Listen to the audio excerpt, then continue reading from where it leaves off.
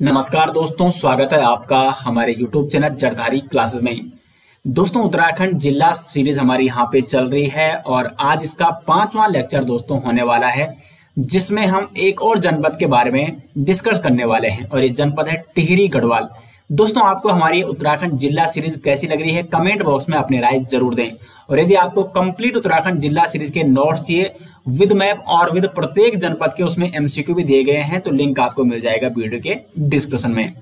तो शुरू करते हैं दोस्तों आज का लेक्चर दोस्तों शुरुआत करते हैं टिहरी जनपद के इतिहास से। टिहरी जनपद की स्थापना होती है 28 दिसंबर 1815 को। किसके द्वारा? तो सुदर्शन शाह द्वारा। सुदर्शन शाह के द्वारा टेहरी जनपद की स्थापना की गई 28 दिसंबर 1815 को। कई जगह आपको 30 दिसंबर भी मिलेगा लेकिन जो यहाँ पे उत्तराखंड हिस्ट्री की कई बुक्स है, उसमें 28 दिसंबर ही दिया गया है। तो सुदर्शन शाह ने 28 दिसंबर 1815 को टिहरी जनपद की नींव डाली। अब यहाँ पे एक बार हम पंवार वंश का इतिहास देख लेते हैं। पंवार वंश के इतिहास में अगर हम दृष्टि डालें तो ये क्षेत्र पंवार वंश के अधिकार में हुआ करता था और पंवार वंश के एक शासक थे प्रद्युम्न शाह, जो कि सुदर्शन शाह के पिता थे। सुदर्शन शाह के पिता थे प्रद्युम्न शाह। प्रद्युम्न शाह और गोरखों के मध्य 1804 में देहरादून के खुलबड़ा नामक मैदान पर एक युद्ध लड़ा जाता है, जिसमें प्रद्युम्न शाह पराजित हो जाते हैं और युद्ध भूमि में मारे जाते हैं। तो इस प्रकार इस क्षेत्र पर अब किसका अधिकार हो चुका है? गोरखाओं का अधिकार। 1804 से लेकर 1815 तक। ये जो टेरी का क्षेत्र भी है और संपूर्ण गढ़वाल का क्षेत्र, संपूर्ण कुमाऊं का क्षेत्र, ये किसके अधीन रहा? गोरखाओं के अधीन रहा। लेकिन इस बीच जो सुदर्शन शाह थे प्रद्युम्न शाह के पुत्र, ऐसा माना जाता है कि उन्होंने ब्रिटिशों से सहायता ली कि वो यहाँ से गोरखाओं को पराजित करे। तो अंग्रेज़ 1815 में गोरखाओं को पराजित कर देते हैं, लेकिन इसके बदले वो सुदर्शन शाह से क्या ले लेते हैं, जो पश्चिमी गढ़वाल क्षेत्र था। गढ़वाल में जो देहरादून का क्षेत्र आता था, या जो ब्रिटिश गढ़वाल हुआ बाद में, यानी पौड़ी गढ़वाल का क्षेत्र, वो क्षेत्र अंग्रेज़ों ने ले लिया। और इस प्रकार उन्होंने सुदर्शन शाह को कौन सा क्षेत्र दिया?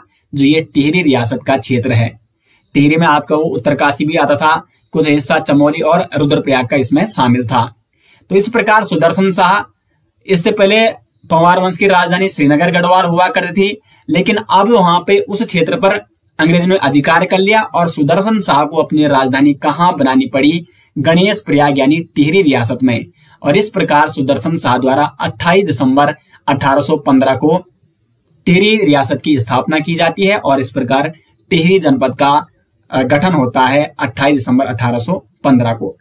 अब यहाँ पे आपको एक बात समझनी होगी कि सुदर्शन शाह ने जो अपनी राजधानी बनाई, वो बनाई थी गणेश प्रयाग, पुराने टिहरी में, गणेश प्रयाग के निकट। गणेश प्रयाग ये वो स्थान हुआ करता था जहाँ पर भिलंगना और भागीरथी का संगम हुआ करता था। और अभी ये गणेश प्रयाग वर्तमान में ये क्षेत्र दोस्तों टिहरी डैम में समा चुका है। जो टिहरी डैम अभी वर्तमान में वहाँ पर है, उसमें डूब चुका है ये गणेश प्रयाग, जहाँ पर भिलंगना और भागीरथी का संगम हुआ करता था। और यहीं पर थी पुरानी टिहरी, जहाँ पर टिहरी नरेश सुदर्शन शाह की राजधानी थी।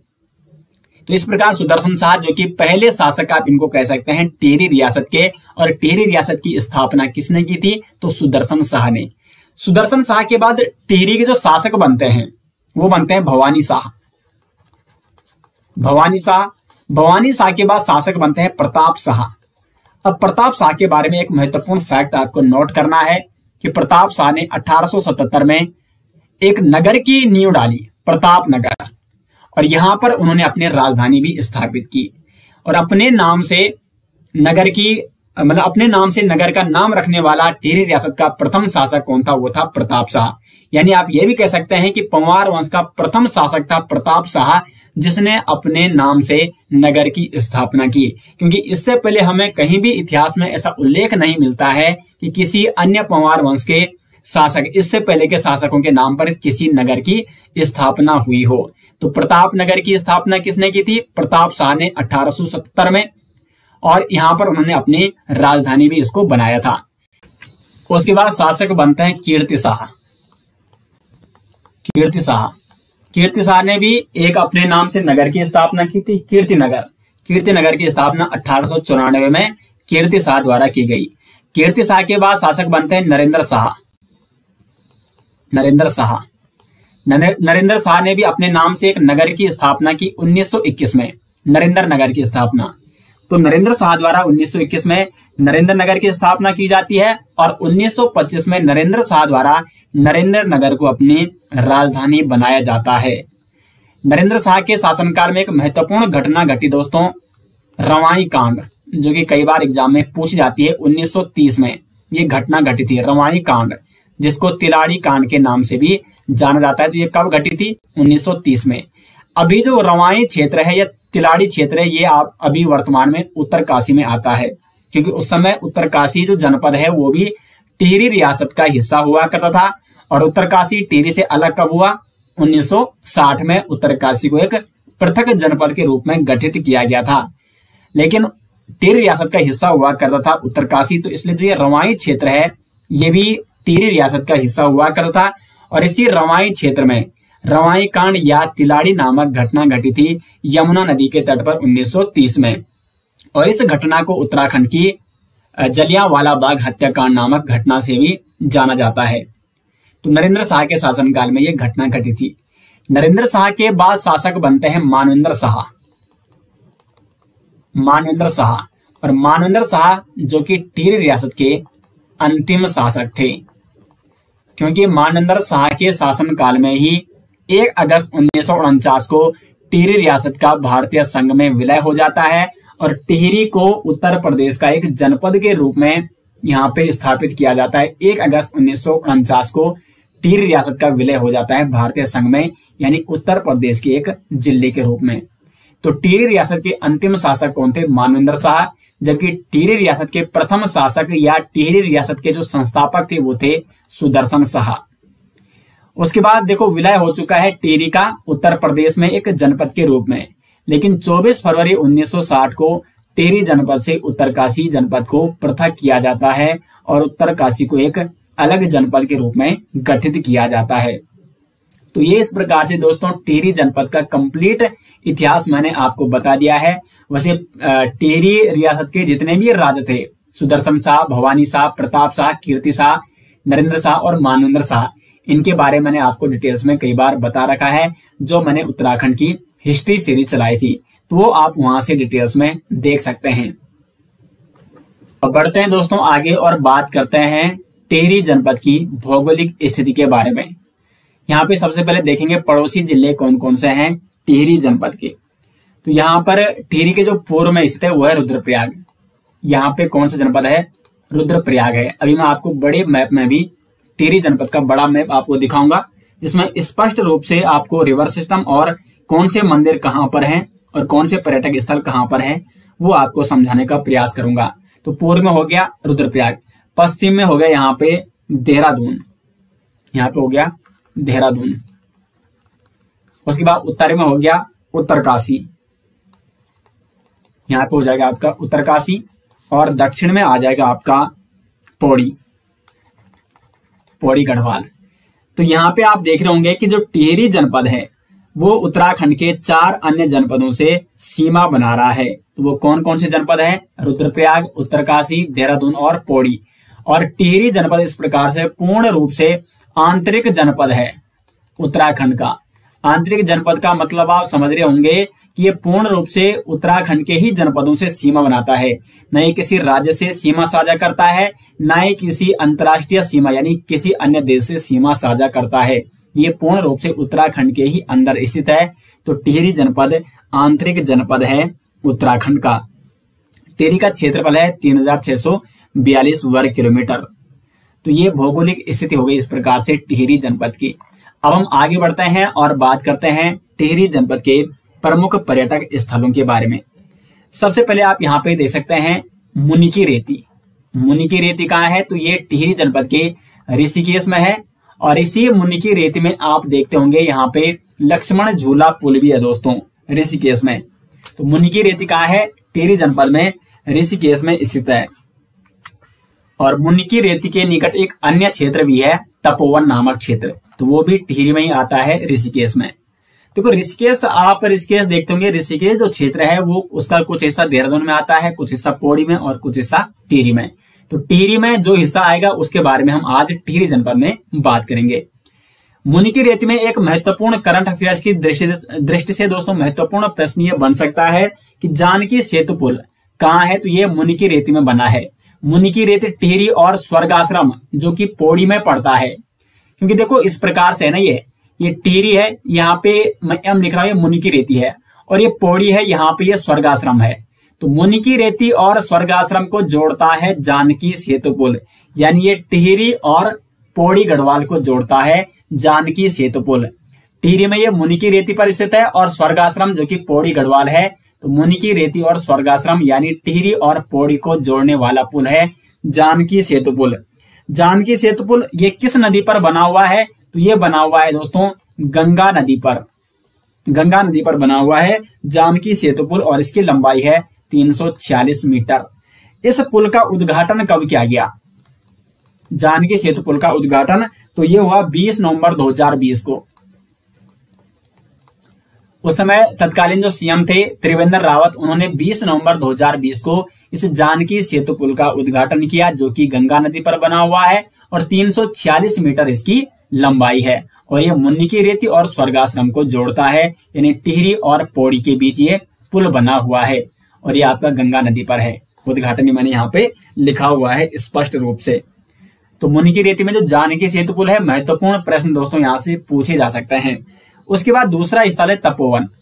तपोवन ये मुनि की रेती के निकट स्थित है और इसी तपोवन में एक प्रसिद्ध पुल भी है, लक्ष्मण झूला पुल। लक्ष्मण झूला पुल के निर्माण की बात करें तो 1889 में इस पुल का निर्माण किया गया था, लेकिन पुनः इसका जो जीर्णोद्धार कराया गया था, इस पुल का पुनर्निर्माण वो 1927 1928 के बीच में कराया गया था और लगभग 450 फीट लंबाई इस पुल की है, लक्ष्मण झूला पुल। लक्ष्मण झूला पुल, ये कहाँ है? ये आपका तपोवन में है। उसके बाद नेक्स्ट जो स्थल है, वो है आपका खैंड पर्वत। खैंड पर्वत, ये आप, अगर आप टिहरी गए होंगे कभी, जो प्रॉपर टिहरी नगर है अभी तो टिहरी नगर के सामने ही दिखता है एक पर्वत, जिसका नाम है खैंड पर्वत। और इस पर्वत को दोस्तों, आचरी पर्वत, या परियों का देश, या आचरियों का देश, या अप्सरों का निवास स्थल भी कहा जाता है। और एक बार यह प्रश्न एग्ज़ाम में पूछा जा चुका है कि परियों का देश किसे कहा जाता है? तो खैंड पर्वत को कहा जाता है परियों का देश। परियों का देश खैंड पर्वत। और ये बिल्कुल टिहरी के सामने ही आपको दिखता हुआ अगर आप टिहरी कभी गए होंगे। और इस पर्वत पर दोस्तों खैंड खाल मंदिर भी स्थित है खैंड पर्वत पर। नेक्स्ट स्थल है यहाँ पे चंबा। चंबा एक प्रसिद्ध स्थल है टिहरी गढ़वाल जनपद का। और टेहरी का एक मुख्य नगर आप इसे कह सकते हैं चंबा को, क्योंकि चंबा सेंटर पॉइंट हो गया टिहरी का। अगर आपको टिहरी जनपद में जाना है तो चंबा से जाओगे। अगर आपको ऋषिकेश जाना है तो चंबा से आपको गुजरना होगा। मसूरी हो गया या आपको टिहरी आप टिहरी में है और आपको कहाँ जाना है? आपको श्रीनगर गढ़वाल जाना है तो आप चंबा से ही जाओगे। चंबा एक मेन सेंटर पॉइंट हो गया है टिहरी जनपद का तो इसलिए एक मुख्य नगर है चंबा। चंबा दोस्तों, गब्बर सिंह नेगी की जन्मस्थली भी है। गब्बर सिंह नेगी जो कि प्रथम विश्व युद्ध में शहीद हुए थे और इनको विक्टोरिया क्रॉस सम्मान से सम्मानित भी किया गया था।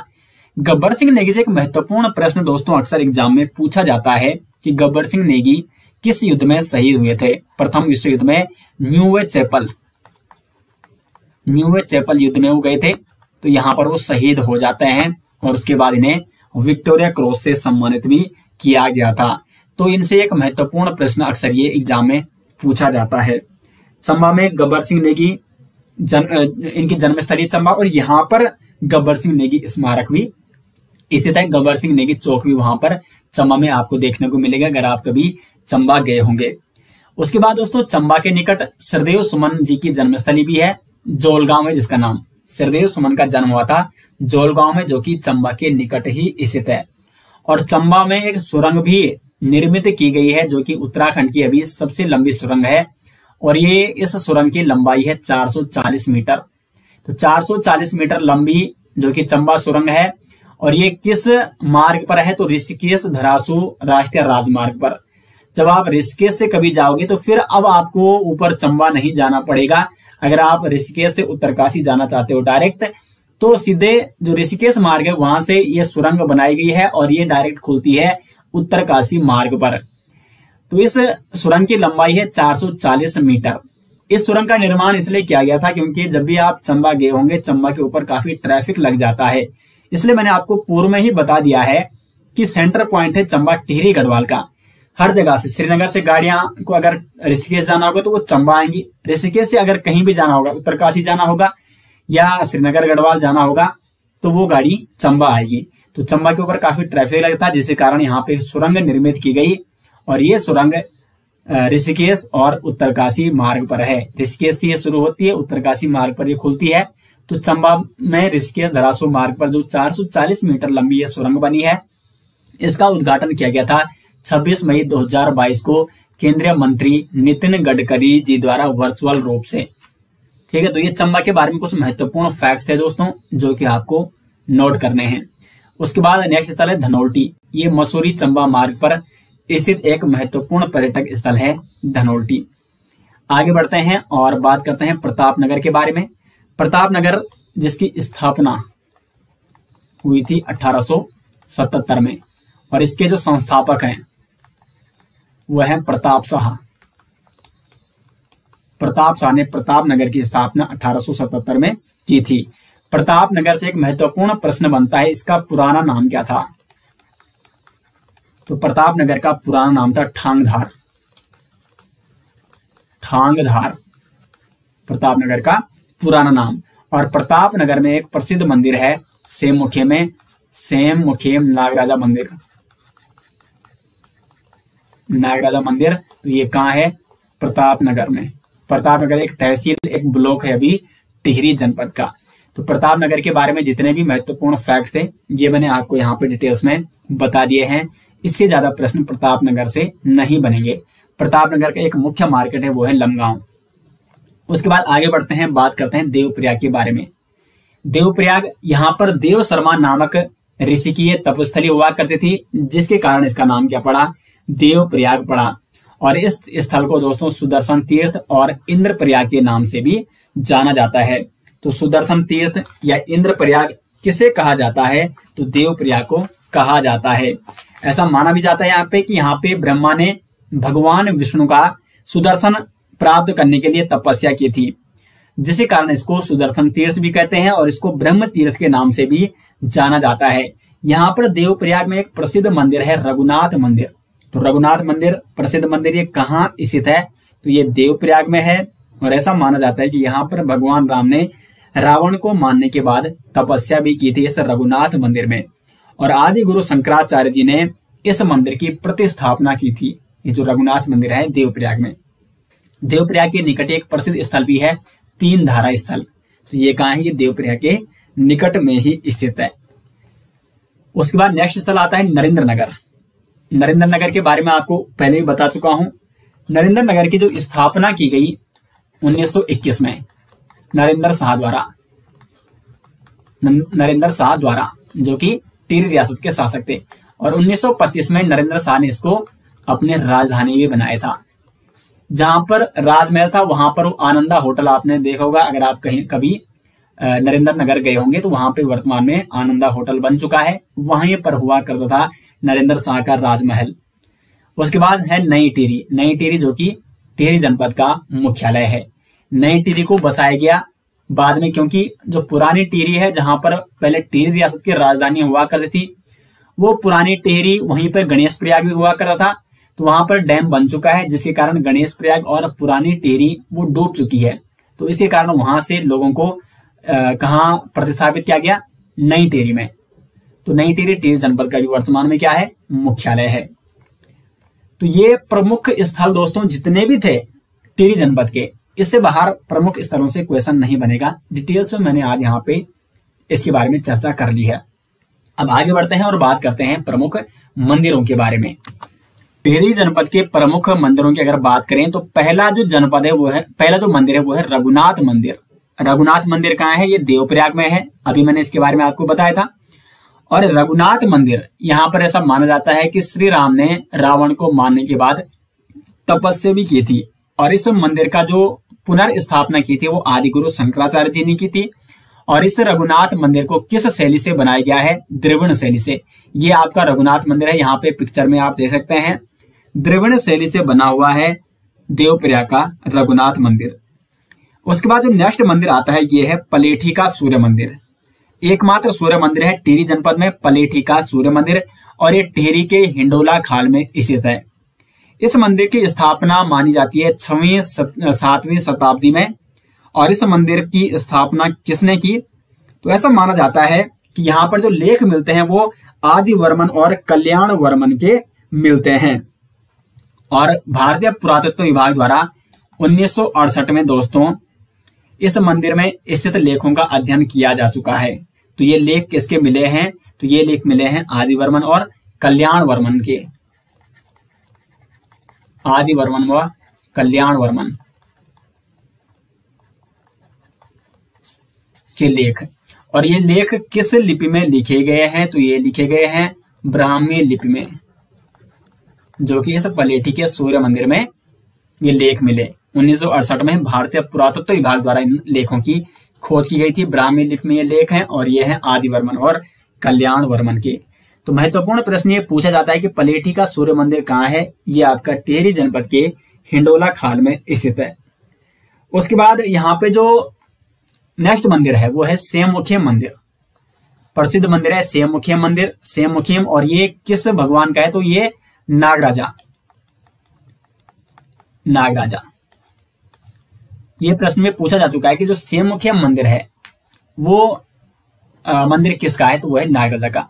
यहाँ पर भगवान श्री कृष्ण नागराजा के रूप में विराजमान रहते हैं, विद्यमान रहते हैं, और इस पर मैंने एक स्पेशल वीडियो भी बना रखी है। अगर आपको सेम मुखिया मंदिर के इतिहास के बारे में जानना है, किस प्रकार वहाँ पे ऐसी मान्यता है कि भगवान श्री कृष्ण वहाँ पर आए थे, वहाँ के जो उस समय गणपति हुआ करते थे रमोलीगढ़ के वो थे गंगू रमोला। किस प्रकार उनसे उसकी मुलाकात होती है?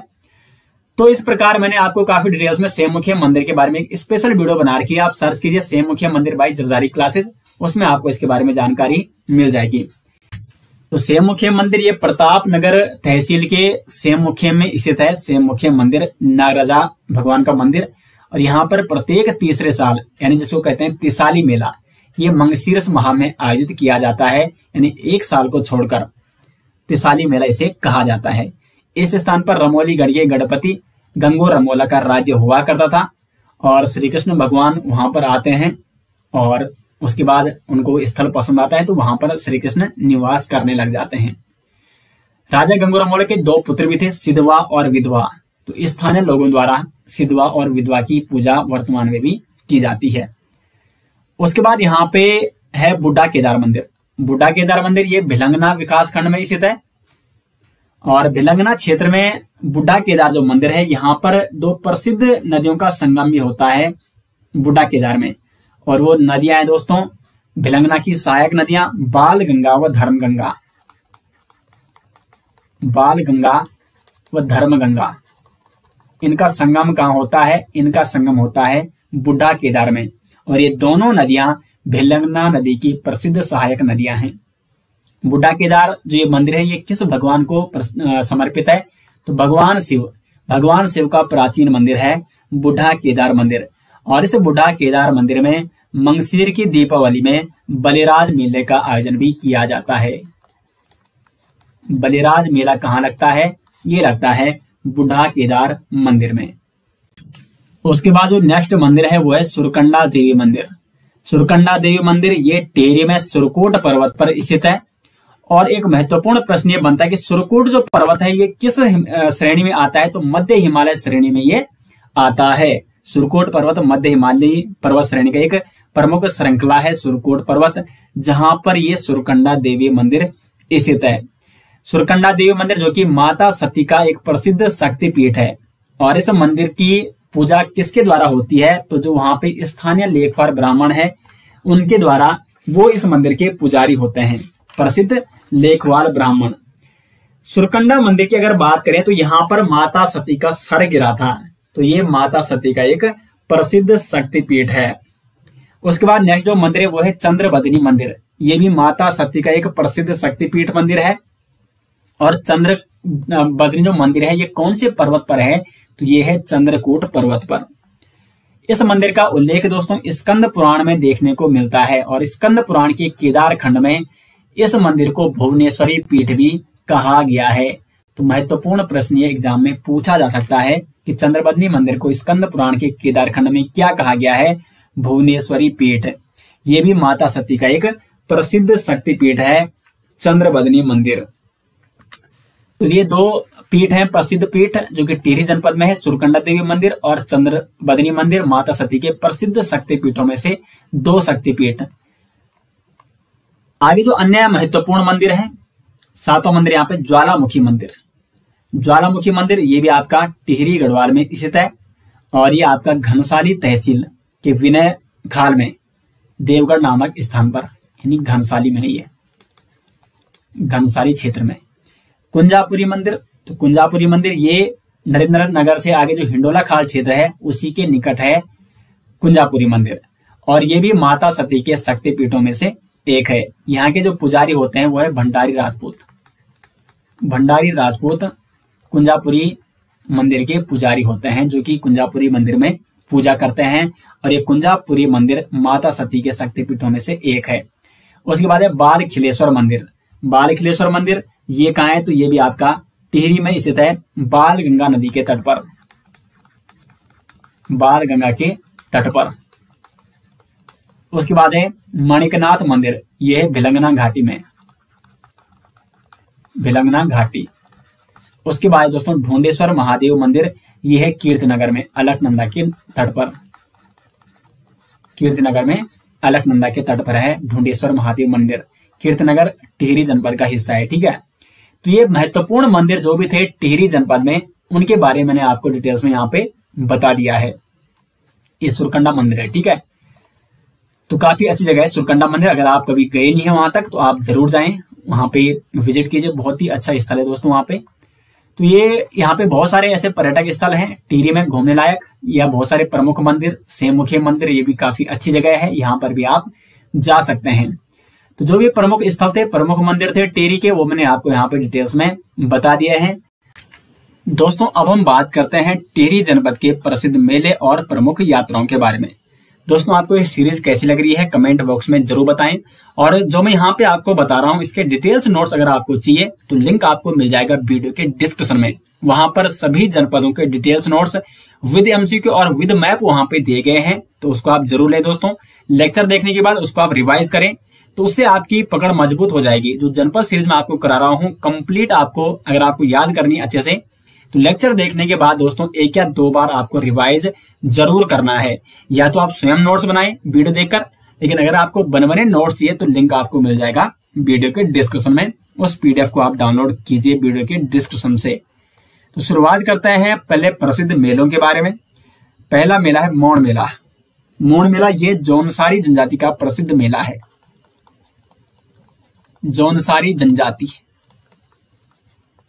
का प्रसिद्ध मेला। और ये लगता है आपका जौनपुर क्षेत्र में। इस मेले की विशेषता यह है कि इसमें मछली पकड़ने की प्रतियोगिता की जाती है और इसलिए इस मेले को मछमोण मेला भी कहते हैं। मछमोण मेला या मोण मेला ये कहाँ आयोजित किया जाता है? टिहरी के जौनपुर क्षेत्र में। और ये किस नदी पर आयोजित किया जाता है? अगलाड़ नदी पर। ठीक है तो मोण मेला अगलाड़ नदी पर, जिसको मछमोण मेला भी कहते हैं, और ये जौनसारी जनजाति का प्रसिद्ध मेला है, जो कि जौनपुर क्षेत्र में आयोजित किया जाता है। दूसरा है सेम मुखियम मेला। ये प्रताप नगर के सेम मुखियम में आयोजित किया जाता है। मुखेम गाँव के ऊपर सेम मुखियम में मंगसीरस माह में ये मेला आयोजित किया जाता है और ये प्रत्येक तीसरे साल आता है, यानी इसको तिसाली मेला भी कहा जाता है और ये मंगसीरस माह में आयोजित किया जाता है। तीसरा है रवाई किसान मेला। रवाई किसान मेला दोस्तों, ये मलेथा गाँव में आयोजित किया जाता है। शायद मैंने पिछली बार जब ये एक बार ये लेक्चर पढ़ाया था तो वहाँ पे एक अभ्यर्थी का कमेंट आ रहा था कि, सर रवाई तो उत्तरकाशी में है। तो फिर ये मेला टीरे में कैसे लगता है? टीरी के मलेथा क्षेत्र में। लेकिन दोस्तों, ये देखो, इसका भी स्थान से कोई मतलब नहीं है। जो रवाई किसान मेला है, ये कहाँ लगता है? मलेथा गाँव में। मलेथा गाँव में, ठीक है? मलेथा गाँव में ये आयोजित किया जाता है। मलेथा गाँव, ये माधव सिंह भंडारी की जन्म स्थली है मलेथा गाँव। रवाई किसान मेला मलेथा गाँव में आयोजित किया जाता है। उसके बाद शहीद नागेंद्र सकलानी और भोलू भरदारी विकास मेला, ये लगता है कीर्तिनगर में। कीर्तिनगर में। उसके बाद रणभूत मेला तो ये लगता है टेरी जनपद की नैलचामी पट्टी में, ये कार्तिक माह में आयोजित किया जाता है। और इस मेले में जो राजशाही के समय विभिन्न युद्ध हुए थे उसमें मारे गए लोगों की याद में लगता है रणभूत मेला, टिहरी जनपद की नयलसामी पट्टी में। उसके बाद तिलका देवी मेला तिलका देवी मेला, ये बाड़ासरी जौनपुर में तिलका देवी मंदिर में आयोजित किया जाता है, जौनपुर क्षेत्र में। उसके बाद नाग टिब्बा मेला। देखो, नाग टिब्बा कहाँ है? तो ये मसूरी में है। तो नाग टिब्बा मेला, ये भी टिहरी के जौनपुर क्षेत्र में लगता है। और एक प्रश्न पूछा जाता है कि नाग टिब्बा कहाँ है? तो ये टिहरी के मसूरी में स्थित है। क्योंकि मसूरी का कुछ क्षेत्र देहरादून में आता है, कुछ क्षेत्र टिहरी में आता है, लेकिन ये मसूरी का जो क्षेत्र टिहरी में आता है, वहाँ पर है नाग टिब्बा। चंद्रबदनी मेला तो ये लगता है चंद्रबदनी मंदिर में। तो ये प्रसिद्ध मेले जो भी लगते हैं टिहरी जनपद में, वो मैंने आपको यहाँ पे डिटेल्स में बता दिए हैं। अब दोस्तों बात करते हैं टेरी जनपद की प्रमुख यात्राओं के बारे में। पहली यात्रा है खतलिंग महादेव यात्रा। ये आयोजित की जाती है टिहरी में। टिहरी के भिलंगना क्षेत्र से। भिलंगना में एक गाँव है घुत्तू गाँव। भिलंगना के घुत्तू गाँव से यात्रा प्रारंभ की जाती है। और ये यात्रा पवाली कांठा से होते हुए खतलिंग ग्लेशियर तक जाती है। खतलिंग ग्लेशियर। तो खतलिंग महादेव यात्रा कहाँ आयोजित की जाती है? टिहरी में, टिहरी के भिलंगना क्षेत्र में। उसके बाद दूसरी यात्रा है पवाली कांठा केदारनाथ यात्रा। तो ये पवाली कांठा से होते हुए रुद्रप्रयाग के केदारनाथ तक जाती है और ये यात्रा अगस्त सितंबर माह में आयोजित की जाती है।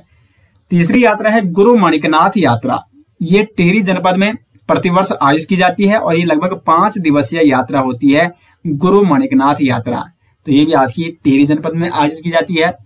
चौथी है सहस्त्रताल महासर ताल यात्रा। तो ये यात्रा भी एक प्रसिद्ध यात्रा है टिहरी जनपद की। तो चार यात्राएँ महत्वपूर्ण है टिहरी जनपद की, जो आपको विशेष तौर पर नोट करनी है। अब दोस्तों, हम बात करेंगे टिहरी जनपद की प्रमुख नदियों के बारे में, लेकिन उससे पहले एक बार आपको मैप के माध्यम से समझना होगा। कंप्लीट मैप आपको समझा देता हूँ एक बार। टिहरी जनपद का और इसमें बताऊँगा रिवर सिस्टम ठीक है तो एक बार ध्यान दीजिए यहाँ पे। इसको आप एक बार पूरा देख लीजिए किस प्रकार का मैप है। फिर मैं जूम करूँगा इसको, ठीक है? तो ये मैंने जूम कर लिया है। ये टेरी, ये ऊपर है टेरी के उत्तर में उत्तरकाशी। तो उत्तरकाशी एक नदी आती है टेरी में, और वो कौन सी नदी है? भागीरथी नदी। भागीरथी नदी जिसका उद्गम उत्तरकाशी के गोमुख से होता है। गंगोत्री ग्लेशियर के गोमुख से फिर उत्तरकाशी में विभिन्न स्थानों से बहती हुई ये पहुँच जाती है आपकी टेहरी में इस प्रकार से। ये आ रही है भागीरथी नदी, ठीक है? भागीरथी नदी जब आती है भलटियाना में तो भलटियाना में यहाँ पे एक नदी इसके साथ संगम करती है, जिसका नाम है जलकुर नदी।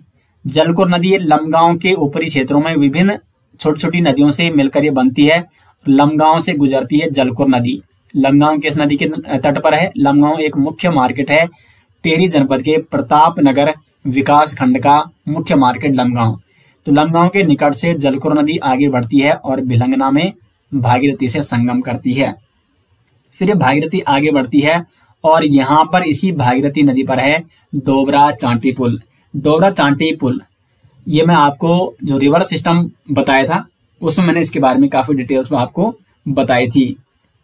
फिर मैं अभी आपको डिटेल्स में बता देता हूँ, जो डोबरा चांटी पुल है, ये टिहरी डैम के ऊपर बना हुआ है और इसका उद्घाटन हुआ था 8 नवंबर 2020 को। किसके द्वारा तो तत्कालीन जो मुख्यमंत्री थे, त्रिवेंद्र रावत जी द्वारा। इस पुल की कुल लंबाई दोस्तों 725 मीटर। कुल लंबाई है, लेकिन अगर बात करें सस्पेंशन जो ब्रिज, जो झूला पुल है, उसकी लंबाई है 440 मीटर। क्योंकि ये पुल देखो इस प्रकार से ठीक है? ये तो आपका झूला पुल है, जो डैम के ऊपर है बिल्कुल। लेकिन ये पुल क्या है कि इधर काफ़ी लंबा है और इधर भी थोड़ी इसकी लंबाई है। तो अगर हम यहाँ से लेकर यहाँ तक बात करें, तब तो इसकी लंबाई है 725 मीटर। लेकिन अगर हम सिर्फ़ इस झूला पुल की बात करें, जो बिल्कुल किसके ऊपर बना हुआ है? डैम के ऊपर बना हुआ है, तब इसकी लंबाई कितनी है? वो है 440 मीटर। तो अगर पूछा जाता है कि सस्पेंशन ब्रिज यानी झूला पुल की लंबाई कितनी है जो डोबरा चांटी झूला पुल है, तब है 440 मीटर। लेकिन डोबरा चांटी पुल की कुल लंबाई कितनी है, यहाँ से लेकर यहाँ तक तो ये हो जाएगी आपकी पच्चीस मीटर। तो अब आप समझ गए होंगे, और इसकी जो कुल चौड़ाई है वो है सात मीटर। इस पुल का जो डिज़ाइन तैयार किया गया था, वो कोरियन कंपनी योसिन द्वारा किया गया था। ठीक है, वैसे इसके बारे में अलग से स्पेशल वीडियो भी बना रखी है, लेकिन पूरी डिटेल्स मैंने यहाँ पे भी आपको समझा दी है।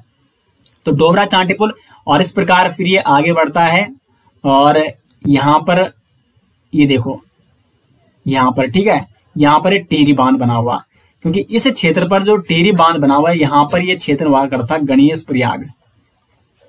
गणेश प्रयाग है ये। और इसी गणेश प्रयाग में भागीरथी और भिलंगना का संगम हुआ करता था। अब भागीरथी की जो प्रमुख सहायक नदी है, जो कि टिहरी में जिसका संगम होता है, वो है भिलंगना। तो अब हम भिलंगना के उद्गम के बारे में पहले बात कर लेते हैं। ये भिलंगना नदी, ठीक है? ये है भिलंगना। तो भिलंगना का उद्गम कहाँ से हो रहा है? ये है खतलिंग ग्लेशियर। ये आपका टिहरी और रुद्रप्रयाग में स्थित है। खतलिंग ग्लेशियर यहाँ से उद्गम होता है भिलंगना का। और इस प्रकार भिलंगना आगे बढ़ती है। और यहाँ पर भिलंगना पर एक पावर प्रोजेक्ट भी है, ठीक है? Bhilangana hydro power project Bhilangana नदी पर। उसके बाद भिलंगना आगे बढ़ती है और पहुँच जाती है घनसाली में।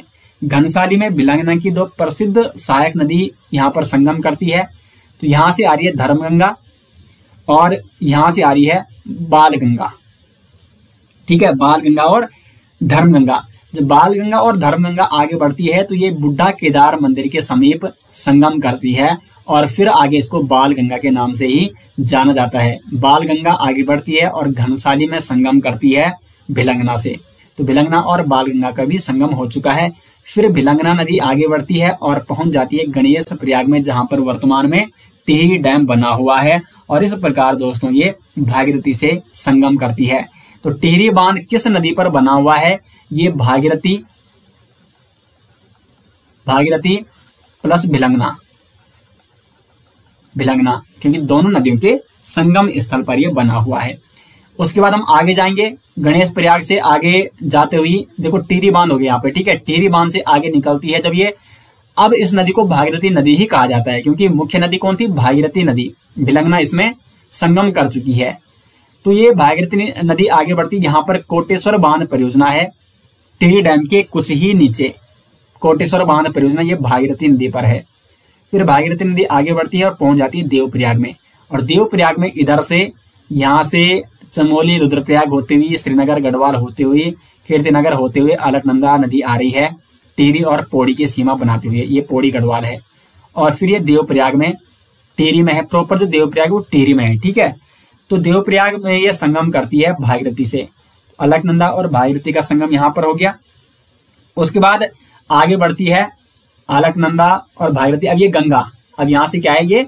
गंगा नदी कहलाएगी। तो गंगा नदी आगे बढ़ती है, ये गंगा नदी कहला जा रही है अब। और फिर ये पौड़ी और टिहरी की सीमा बनाते हुए गंगा नदी आगे बढ़ रही है। और यहाँ पर एक अन्य नदी इसके साथ संगम करती है, जिसका नाम है हेमवल नदी। यहाँ पे ये वशिष्ठ आश्रम भी है और ये वशिष्ठ कुंड भी है, ठीक है? अगर आप इस मैप को लेना चाहते हैं तो लिंक आपको वीडियो के डिस्क्रिप्शन में मिल जाएगा। जो पौड़ी जनपद की डिटेल्स है नोट्स वाली पीडीएफ है, उसी में टिरी जनपद की, ठीक है? उसी में आपको ये मैप भी मिल जाएगा। और वहाँ पे अगर आप जूम करते हो तो ये पूरा स्पष्ट आपको दिखाई देता है। तो यहाँ पर क्या है ये? वशिष्ठ कुंड और वशिष्ठ आश्रम यहाँ पर है। फिर ये हेमल नदी यहाँ पे ही वशिष्ठ आश्रम के निकट या वशिष्ठ कुंड के निकट इससे संगम करती है। फिर आगे बढ़ती है और ये पहुँच जाती है आपकी, यहाँ पे ये फूल चट्टी नामक स्थान है। ये पटना, जलप्रपात, ये पौड़ी में है, ठीक है? ये ऋषिकेश का क्षेत्र आ गया अब। ये कंप्लीट जो क्षेत्र आ गया है, ये ऋषिकेश का इस प्रकार से। तो ये ऊपर हिस्सा टेरी में है, ये निचला हिस्सा पौड़ी में है और ये इधर का ये देहरादून में है। तो फिर यहाँ पे फूल चट्टी आ गया ये पौड़ी के है, पटना जलप्रपात, ये पौड़ी ऋषिकेश में आता है। फिर ये आगे बढ़ता है यहाँ पे और यहाँ पर आपका ये लक्ष्मण झूला पुल है ये। फिर ये आगे बढ़ता है यहाँ पे यहाँ पे राम झूला पुल है और ये आपका मुनि की रेती आ गया। तो देखो यहाँ पे ये मुनि की रेती और ये है स्वर्गाश्रम। तो मुनि की रेती और स्वर्गाश्रम के जो बीच पुल है इस पुल का नाम क्या है? जानकी सेतु पुल। जानकी सेतु, ये है मुनि की रेती और स्वर्गाश्रम। स्वर्गाश्रम पौड़ी में है, ये है पौड़ी, और मुनि की रेती है टिहरी गढ़वाल में। तो टिहरी गढ़वाल की मुनि की रेती और पौड़ी के स्वर्गाश्रम के मध्य स्थित है जानकी सेतु पुल। फिर यहाँ से देखो, ये कौन सी नदी पर है? गंगा नदी पर, और फिर गंगा नदी आगे बढ़ रही है। तो पूरा रिवर सिस्टम मैंने आपको समझा दिया है किस प्रकार भागीरथी नदी टिहरी जनपद में बह रही है, भिलंगना टिहरी जनपद में बह रही है। अन्य स्थल देख लो यहाँ पे, ये नाग टिब्बा ये मसूरी में है, और यहाँ पे ये अगलाड़ नदी है, देखो। ठीक है? फिर यहाँ पे ये जौनपुर क्षेत्र आ गया, ये मसूरी है, और ये कंपटी जलप्रपात, ये टिहरी गढ़वाल में है। मसूरी के टिहरी गढ़वाल में है आपका कंपटी जलप्रपात। ठीक है? धनोल्टी ये क्षेत्र आ गया सुरकंडा देवी मंदिर है यहाँ पे, ये काणा ताल है यहाँ पे, ये नरेंद्र नगर का क्षेत्र है और ये आप देखो यहाँ पे घनसाली हो गया यहाँ पे। ये लमगांव है, ये प्रताप नगर है, ये मुखेम है और यहाँ पे सेम नागराजा मंदिर। बिल्कुल उत्तरकाशी की सीमा पर है, क्योंकि इसके अगर आप पार जाओगे तो सीधे आप उत्तरकाशी पहुँच जाओगे। एक या दो पहाड़ अगर आप पार करते हो तो ये कंप्लीट दोस्तों मैंने आपको बता दिया, यहाँ पे डोबरा चांटी पुल भी हो चुका है। तो अब मैं आपको पीडीएफ के माध्यम से समझाने वाला हूँ। तो भागीरथी नदी जिसका उद्गम होता है, गोमुख उत्तरकाशी से और टेरी में इसकी कौन कौन सी सहायक नदियाँ हैं? भिलंगना नदी, प्रसिद्ध सहायक नदी इसकी भिलंगना नदी का उद्गम होता है खतलिंग ग्लेशियर से। और इसका संगम गणेश प्रयाग में भागीरथी नदी से होता है। भिलंगना की दो प्रसिद्ध सहायक नदी है बाल गंगा और धर्मगंगा। बाल गंगा और धर्मगंगा का संगम होता है बुढ़ा केदार में। और फिर ये यहाँ से आगे बढ़ती है, और फिर बाल गंगा और भिलंगना का जो संगम होता है, वो होता है घनसाली में। ठीक है? फिर नेक्स्ट यहाँ पे जो नदी है, जलकुर नदी, ये भलियाना क्षेत्र में भागीरथी से संगम करती है। फिर अलगनंदा नदी, जो कि देवप्रयाग में भागीरथी से संगम करती है और देवप्रयाग के आगे भागीरथी को गंगा नदी के नाम से जाना जाता है। भागीरथी को सास कहा जाता है, जबकि अलकनंदा को बहु कहा जाता है। तो पूरा रिवर सिस्टम यहाँ पे कंप्लीट हो चुका है। अब बात करते हैं टिहरी जनपद की प्रमुख परियोजनाओं के बारे में। कौन कौन से टिहरी बाँध परियोजना यह है भागीरथी और भिलंगना नदी पर, गणेश प्रयाग में, ठीक है? जो टिहरी बाँध आप देखते हैं। टेरी बाँध पर मैंने स्पेशल अलग से वीडियो बना रही क्योंकि अगर मैं यहाँ पे टेरी बाँध के बारे में बताने लग जाऊँ तो 20 या 30 मिनट एक्स्ट्रा यहाँ पे लग जाएँगे। तो इसलिए दोस्तों, सही यही रहेगा, क्योंकि मैं यहाँ पे जनपद सीरीज़ में आपको महत्वपूर्ण फैक्ट बता रहा हूँ। टिहरी बाँध के बारे में स्पेशल वीडियो मैंने अलग बना रखी है, और उसी वीडियो मैंने डोबरा चांटी पुल के बारे में भी चर्चा कर रखी है। तो उसको आप डिटेल्स में देखना है तो सर्च कीजिए टिहरी बाँध बाई जरदारी क्लासेस उसके बाद कोटेश्वर बाँध परियोजना। ये भी आपकी किस नदी पर है? तो ये भी आपकी भागीरथी नदी पर है। भागीरथी। ये हो जाएगी भागीरथी और भिलंगना। भिलंगना। क्योंकि जब भागीरथी और भिलंगना संगम करती है तो फिर ये आगे बढ़ती है तो ये भागीरथी नदी ही कहलाती है। तो कोटेश्वर बाँध परियोजना ये भागीरथी नदी पर है। उसके बाद कोटली भेल परियोजना, ये देवप्रयाग में स्थित है गंगा नदी पर। कोटली भेल परियोजना, झालाकोट परियोजना यह है धर्मगंगा पर। धर्मगंगा पर। और बिलंगना बाँध परियोजना तो यह है आपकी भिलंगना नदी पर। तो ये पाँच महत्वपूर्ण परियोजना जो कि टिहरी जनपद में स्थित है। उसके बाद बात करते हैं टिहरी जनपद के प्रमुख तालों के बारे में। तो पहला ताल यहाँ पे सहस्त्र ताल। सहस्त्र ताल ये खतलिंग ग्लेशियर के पश्चिम में स्थित है और ये ताल गढ़वाल क्षेत्र का सबसे बड़ा और सबसे गहरा ताल। सबसे बड़ा, सबसे गहरा गढ़वाल का, ठीक है? गढ़वाल का सबसे बड़ा और सबसे गहरा ताल कौन है? तो वह सहस्त्र ताल। जो कि टिहरी में स्थित है। दूसरा यहाँ पे मानसर ताल, इसे मंसूर ताल भी कहा जाता है। तीसरा ताल है वासुकी ताल। ये दोस्तों रुद्रप्रयाग और टिहरी में संयुक्त रूप से स्थित है। और इस ताल का जो पानी रहता है, वो लाल रहता है, वासुकी ताल का पानी। चौथा है महासर ताल। महासर ताल ये दो कटोरेनुमा तालों से निर्मित है तो इसलिए इसको भाई बहन ताल भी कहा जाता है। भाई बहन ताल किसे कहा जाता है? तो ये कहा जाता है महासर ताल को। पांचवा है अप्सरा ताल। ये टिहरी के बुढ़ा केदार के पास स्थित है और इस ताल को आछरी ताल भी कहा जाता है। आछरी ताल या अप्सरा ताल। छठा है यहाँ पे यमताल ये हमेशा बर्फ़ से ढका हुआ रहता है और सातवां है जराल ताल। तो ये सात महत्वपूर्ण ताल। सहस्त्र ताल, जो कि सबसे बड़ा और सबसे गहरा ताल है गढ़वाल का। मानसर ताल इसे मंसूर ताल भी कहा जाता है। वासुकी ताल, जिसका रंग लाल मतलब इसके जल का जो रंग है वो लाल है और ये रुद्रप्रयाग और टिहरी में संयुक्त रूप से है। महासर ताल, इसको भाई बहन ताल भी कहा जाता है। अप्सरा ताल, ये ताल इसे आछरी ताल भी कहते हैं। यम ताल हमेशा बर्फ़ से ढका हुआ रहता है और नेक्स्ट है जराल ताल। उसके बाद प्रमुख कुंडों की अगर बात की जाए तो कौन कौन से कुंड है यहाँ पे? वशिष्ठ कुंड। ये आपका ऋषिकेश से लगभग 16 किलोमीटर दूर है गंगा नदी के तट पर। मैंने मैप में भी बताया था ये। वशिष्ठ आश्रम, वशिष्ठ कुंड है गंगा नदी के तट पर। दूसरा है बेताल कुंड। ये देवप्रयाग में है। सूर्य कुंड भी आपका देवप्रयाग में है ब्रह्म कुंड भी देवप्रयाग में और भास्कर कुंड ये भी आपका देवप्रयाग में है। तो ये चारों कुंड, बेताल कुंड सूर्य कुंड ब्रह्म कुंड और भास्कर कुंड कहाँ है? देवप्रयाग में, जबकि वशिष्ठ कुंड कहाँ है? ऋषिकेश। टिहरी के ऋषिकेश में। प्रमुख गुफाओं की बात की जाए तो वशिष्ठ गुफा, ये भी कहा आके ऋषिकेश में है। विश्वनाथ गुफा है बोगडेश्वर गुफा और वामन गुफा। ये वामन गुफा कहा है? ये आपकी देवप्रयाग में। तो सभी गुफाएँ आप यहाँ पे इस प्रकार देख सकते हैं। प्रमुख बुग्याल कौन कौन से हैं टिहरी में? तो मासरताल बुग्याल हो गया। उसके बाद है जुराई बुग्याल, खतलिंग बुग्याल खारसोली बुग्याल, कोटली बुग्याल, इसको अप्सराओं बुग्याल भी कहा जाता है, और पवाली कांठा बुग्याल, ये टिहरी में प्लस उत्तरकाशी में भी है। टिहरी और उत्तरकाशी में फैला हुआ है पवाली कांठा बुग्याल। कोटली बुग्याल, जिसको अप्सराओं बुग्याल भी कहा जाता है। अब यहाँ पे अगर हम बात करें ग्लेशियर ग्लेशियर कौन सा है टिहरी में? तो खतलिंग ग्लेशियर है। ये टिहरी और रुद्रप्रयाग में संयुक्त रूप से है।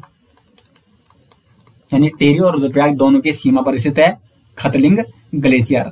और जलप्रपात कौन सा है? एकमात्र जलप्रपात कैंपटी फॉल जलप्रपात।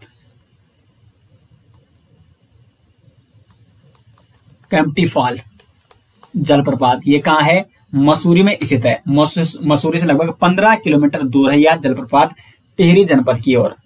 ठीक है तो टिहरी की सीमा में है कंपटी फाल जलप्रपात, और ये किस क्षेत्र में आता है? तो मसूरी क्षेत्र में।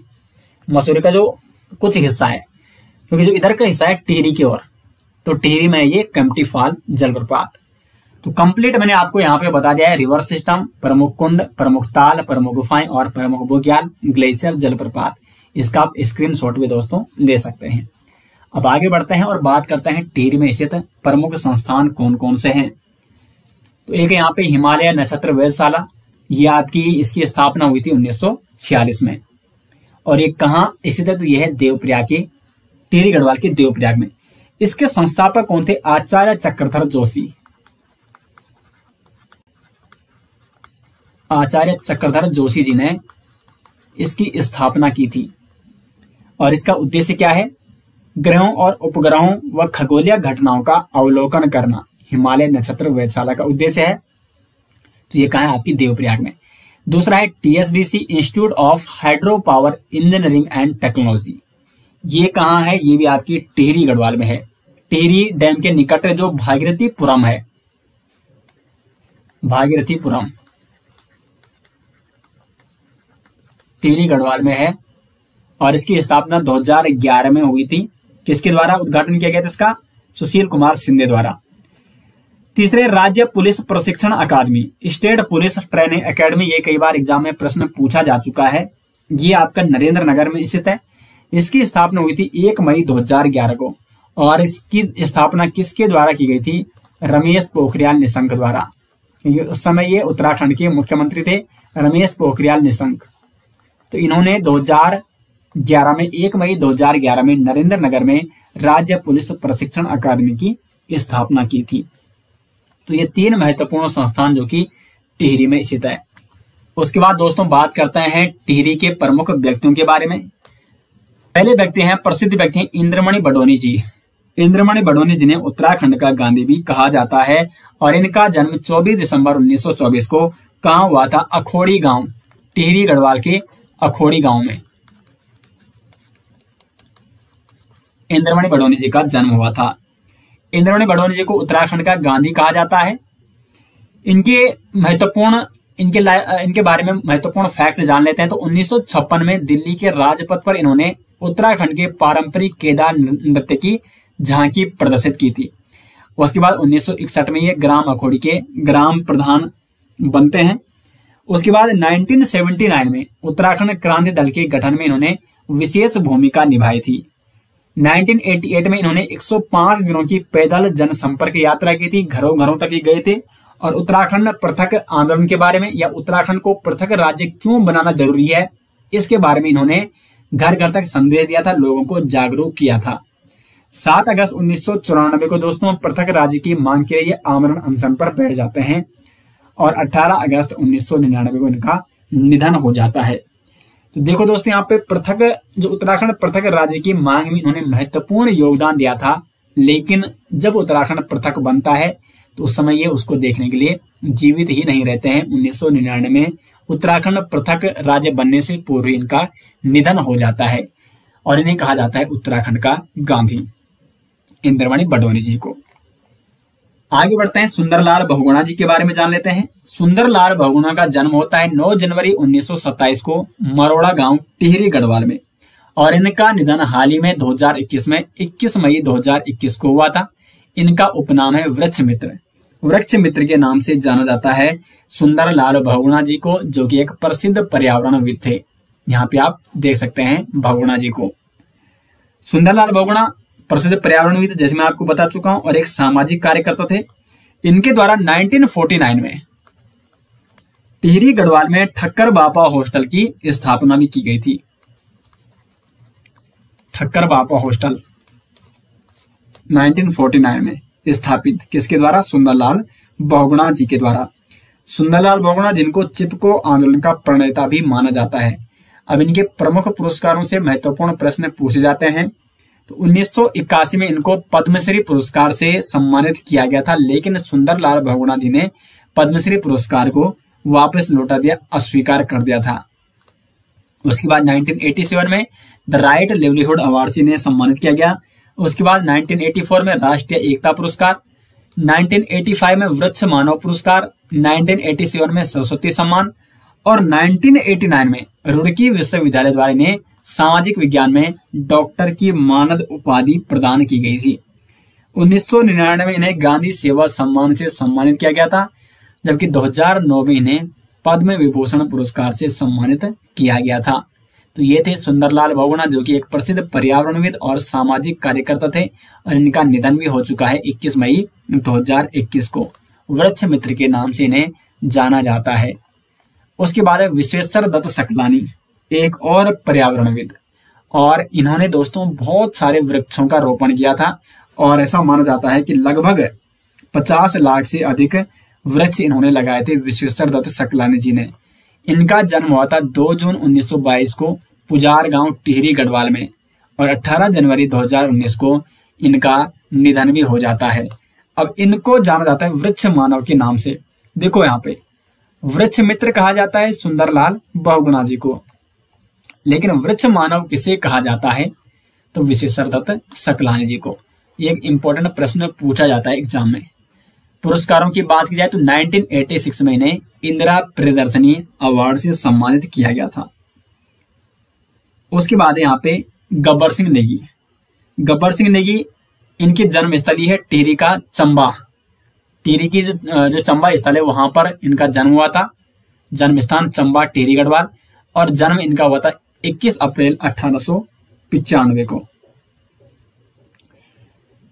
अब देखो यहाँ पे इनके संबंध में जो महत्वपूर्ण फैक्ट बनते हैं, ये प्रथम विश्व युद्ध में यहाँ पे गए थे जब।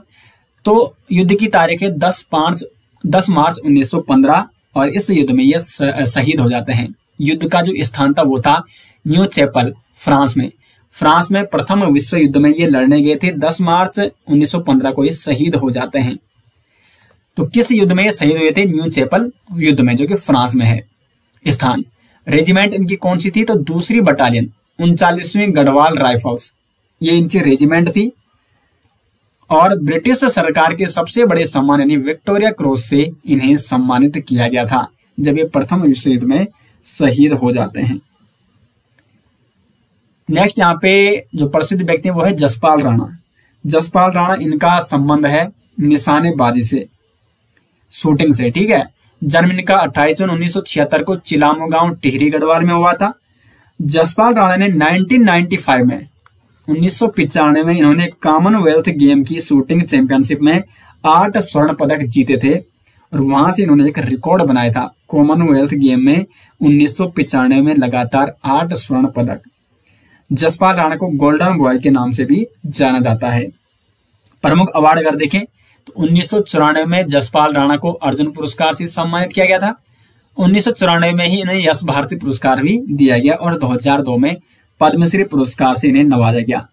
2013 में इन्हें देवभूमि उत्तराखंड खेल रत्न अवार्ड से भी सम्मानित किया गया था और 2020 में इन्हें द्रोणाचार्य पुरस्कार से भी सम्मानित किया जा चुका है। तो ये है दोस्तों जसपाल राणा एक शूटर, एक निशानेबाज और ये है चिलामो गाँव टिहरी गढ़वाल की। तो इनके संबंध में जो भी महत्वपूर्ण फैक्ट थे, वो मैंने आपको यहाँ पर डिटेल्स में बता दिए हैं। उसके बाद है श्रदेव सुमन। श्रदेव सुमन, जिनका जन्म 25 मई 1916 को जोलगांव टिहरी गढ़वाल में होता है। इनके पिता का नाम था हरिराम बडवानी और इनकी माता का नाम था तारा देवी, जबकि इनकी पत्नी का नाम है विनय लक्ष्मी। श्रीदेव सुमन प्रसिद्ध क्रांतिकारी और टिहरी रियासत में, जो राजशाही के खिलाफ इन्होंने दोस्तों संघर्ष किया था उसके लिए इन्हें आज भी याद किया जाता है। चौरासी दिनों का इन्होंने आमरण अनशन किया था, जिसके बाद इनकी मृत्यु हो जाती है, शहीद हो जाते हैं। उसके बाद जो जनता का जो आक्रोश फोड़ता है, उसके कारण कहीं ना कहीं जो टिहरी रियासत के शासक थे, वो सोचने पर मजबूर हो जाते हैं। और उसी का परिणाम था कि कुछ समय बाद, क्योंकि टिहरी रियासत एक ऐसी रियासत थी कि जो जब भारत स्वतंत्र हो गया था, वो तब भी उसका विलय नहीं हो पाया था, भारतीय संघ में। मतलब वहाँ पे आप सभी जानते हैं, आपने जब उत्तरा भारत का इतिहास देखा होगा तो जो शासक विलय नहीं करना चाहता था, वो उसकी मर्ज़ी थी। तो इसी प्रकार टेरी रियासत भी उन्नीस सौ सैंतालीस में उसका विलय नहीं हो पाया था। तो श्रीदेव सुमन, जो कि जन भावना में इतनी यहाँ पे क्रांति फैला चुके थे तो फिर वहाँ पे टेरी रियासत में जनता का विद्रोह होता है। फिर शासक को, जो राजा थे टेरी रियासत के, मानिंदर शाह 1949 में उन्हें विलय पत्र पर हस्ताक्षर करने पड़ते हैं। तो श्रीदेव सुमन, चौदह वर्ष की मात्र आयु में लगभग इन्होंने सत्याग्रह में भाग ले लिया था और पंद्रह दिन तक ये जेल भी गए थे। उन्नीस सौ सैंतीस में इन्होंने सुमन सोरम नाम से कवि कविताएँ भी अपनी प्रकाशित की थी 1937 में। सुमन सौरभ नाम से कविताएँ इन्होंने प्रकाशित की थी। 1938 में दिल्ली में अखिल भारतीय पर्वतीय जन सम्मेलन का आयोजन हुआ, जिसमें श्रीदेव सुमन और बद्रदत्त पांडे जी ने भाग लिया था। 1938 में श्रीनगर में राजनीतिक सम्मेलन में पृथक राज्य की मांग रखी मांग रखी थी सरदेव सुमन ने। काफ़ी दूरदर्शी थे सरदेव सुमन। उसके बाद 1938 में इन्होंने गणदेश सेवा संघ की स्थापना की थी। 30 दिसंबर 1943 को टेहरी जेल में इन्हें बंद कर दिया जाता है, यानी इन्हें कैद किया जाता है। और 21 फरवरी 1944 को सरदेव सुमन पर राजद्रोह का मुकदमा भी चलाया जाता है। उनतीस फरवरी 1944 को सरदेव सुमन ने अनशन आरंभ किया था लेकिन फिर भी जो टिहरी में जो राजशाही सत्ता थी वो मानने को तैयार नहीं थी। इनका मुख्य उद्देश्य था कि टिहरी में प्रजामंडल की स्थापना करना। लेकिन राजशाही शासन मानने को तैयार नहीं था इसलिए इन्होंने तीन मई उन्नीस सौ चौवालीस को आमरण अनशन शुरू कर दिया। और आमरण अनशन जब इन्होंने शुरू किया तो, तो लगातार चौरासी दिन तक दोस्तों बिना खाए पिए चौरासी दिन की भूख हड़ताल के बाद 25 जुलाई 1944 को श्रीदेव सुमन शहीद हो जाते हैं। तो श्रीदेव सुमन शहीद कब हुए? 25 जुलाई 1944 को। तो श्रीदेव सुमन के बारे में जो भी महत्वपूर्ण तथ्य थे, वो मैंने आपको यहाँ पे डिटेल्स में बता दिए हैं। अब बात करते हैं टिहरी की प्रमुख समसामयिक घटनाओं के बारे में। पिछले दो या तीन सालों की जो महत्वपूर्ण करंट अफेयर्स घटनाएँ हैं, उनके बारे में। समसामयिक घटना, क्योंकि इस जिला सीरीज़ की यही महत्वपूर्ण विशेषता है कि यहाँ पर मैं प्रत्येक जनपद के जो करंट अफेयर्स है, जो समसामयिक घटनाएँ वो भी आपको यहाँ पे बता रहा हूँ। देश के सबसे लंबे सिंगल लेन सस्पेंशन ब्रिज का उद्घाटन 8 नवंबर 2020 को टिहरी में किया गया। टिहरी जो डैम है, उस पर यह बनाया गया है। डोबरा चांटी पुल उसका नाम है। डोबरा चांटी पुल, ठीक है? डोबरा चांटी पुल, ये है ये पुल। यहाँ पे आप फ़ोटो पे देख सकते हैं। उद्घाटन हुआ 8 नवंबर 2020 को। किसके द्वारा? तो मुख्यमंत्री तत्कालीन जो त्रिवेंद्र रावत मुख्यमंत्री थे। इस पुल की जो कुल लंबाई, वो है 725 मीटर। 725 मीटर कैसी है? देखो, यहाँ पे आप देख रहे होंगे, ठीक है? तो यहाँ से लेकर और इस प्रकार ये पूरा ये पुल है यहाँ पे। ये है लगभग 725 मीटर। लेकिन अगर झूला पुल यानी सस्पेंशन ब्रिज की बात की जाए, जो डैम के ऊपर है, यहाँ से लेकर और यहाँ तक। यहाँ तो ये है दोस्तों, यहाँ पर इसकी लंबाई कितनी है? तो इसकी लंबाई है 440 मीटर। जबकि यहाँ से लेकर और यहाँ तक ये कंप्लीट जो इसकी लंबाई है, वो है 725 मीटर। तो देखो, यहाँ से दो प्रकार के प्रश्न बन सकते हैं कि डोबरा चांटी पुल की कुल लंबाई कितनी है? 725 मीटर। डोबरा चांटी पुल में जो झूला पुल है, उसकी लंबाई कितनी है? तो 440 मीटर। कुल चौड़ाई इसकी सात मीटर है। और पुल का जो डिज़ाइन तैयार किया गया था, वो कोरियन कंपनी योसिन द्वारा किया गया था। डोबरा चांटी पुल की गाथा पुस्तक। एक पुस्तक है दोस्तों, ये लिखी है शीशपाल गुसाई ने। शीशपाल गुसाई ने एक पुस्तक लिखी है, डोबरा चांटी पुल की गाथा। क्योंकि कई साल लगे थे इस पुल को बनने में। 2006 से लगभग ये पुल का निर्माण आरंभ हो गया था। पुल की गाथा। डोबरा चांटी पुल की गाथा। ये किसने लिखी है? पुस्तक तो शीशपाल गुसाई ने। इस पुल पुल को बनाने का जो निर्माण कार्य लगभग शुरू हो गया था 2006 से। क्योंकि 2006 में जब टेरी डैम कंप्लीट रूप से भर जाता है पानी से तो जो अन्य छोटे पुल थे, वो डूब जाते हैं। तो आवाजाही का जो मार्ग था, विशेष तौर पर जो प्रताप नगर क्षेत्र के वासी थे, उनको बड़ी दिक्कत हो गई थी। कोई यहाँ पे बड़ा पुल था ही नहीं। सब छोटे छोटे पुल थे जहाँ पर सिर्फ़ छोटे छोटे वाहन या छोटी छोटी बसें या छोटे छोटे ट्रक जा सकते थे। बड़ी गाड़ी कोई जा नहीं सकती, जैसे रोडवेज़ बस है। ये जा नहीं सकती थी। तो इसलिए यहाँ पे अब जाके 2021 में ये पुल पूर्ण रूप से बनकर तैयार हुआ। तो इस पर ये पुस्तक लिखी है, डोबरा चांटी पुल की गाथा। ये लिखी है शीशपाल गुसाई ने। नेक्स्ट यहाँ पे है जानकी सेतु पुल का निर्माण। जानकी सेतु पुल, ये गंगा नदी पर निर्मित है। गंगा नदी पर। इसका निर्माण किया गया है और ये मैंने आपको अभी मैप के माध्यम से भी बताया, ये मुनिकी रेती और स्वर्गाश्रम को जोड़ता है। इसका उद्घाटन 20 नवंबर 2020 को मुख्यमंत्री त्रिवेंद्र रावत जी द्वारा किया गया और इस पुल की लंबाई है तीन सौ छियालीस मीटर। नेक्स्ट यहाँ पे टेरी के चंबा शहर में बनी 440 मीटर लंबी टनल। ये आप देख सकते हैं यहाँ पे ये टनल है चंबा शहर के नीचे से ये निकली हुई है और ये आपकी जो निकलती है ऋषिकेश से धरासू हाईवे पर, जो उत्तरकाशी हाईवे है। ऋषिकेश हाईवे से उत्तरकाशी हाईवे पर ये खुलती है और इस सुरंग का निर्माण बीआरओ यानी बॉर्डर रोड ऑर्गेनाइजेशन द्वारा किया गया। इस सड़क की कुल लंबाई है 440 मीटर और इसका उद्घाटन 26 मई 2020 को सड़क परिवहन मंत्री नितिन गडकरी जी द्वारा वीडियो कॉन्फ्रेंसिंग के ज़रिए किया गया था। क्योंकि उस समय लॉकडाउन लगा था कोरोना के कारण तो वर्चुअल रूप से इन्होंने वीडियो कॉन्फ्रेंसिंग के माध्यम से 26 मई 2020 को टिहरी के चंबा शहर में जो ये 440 मीटर लंबी टनल बनी, इसका उद्घाटन किया।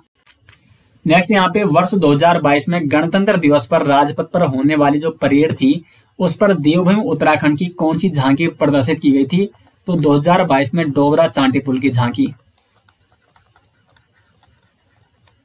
डोबरा चांटी पुल की झांकी 2022 में।